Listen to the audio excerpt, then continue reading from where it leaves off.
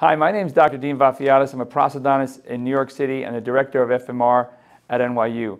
We are on the verge of new technology right now that's going to change the way we do our treatment planning.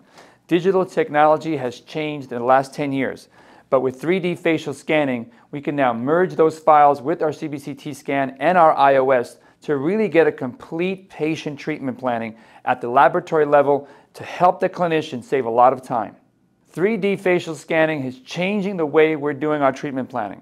We can do implant cases, we can do full mouth rehabilitation cases, we can do orthodontics. To be able to get the patient's face in the laboratory is going to change the way the technician, the, the clinician, and the patient's experience is going to be from start to finish in a digital workflow that's seamless and able to merge these files together to get real accuracy with the edge position. RayFace and RayAmerica is going to change the way we do our digital workflow.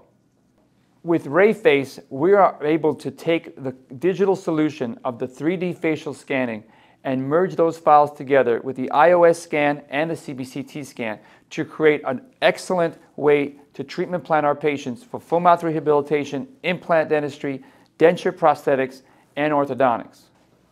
With RayFace, we can do accurate dental and facial profiling without using any extra devices. This makes the process much more seamless and integrated. What does this mean? This means our accuracy will be better, we'll be saving a lot of time, and the patient's face and reality of the dental avatar will be in our laboratories. This is a huge change in the digital workflow. Thank you.